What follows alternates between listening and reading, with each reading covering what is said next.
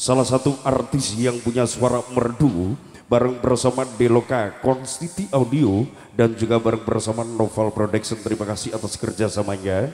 Siapa dia kalau bukan ada Ayu Shagita masih bersama Deloka.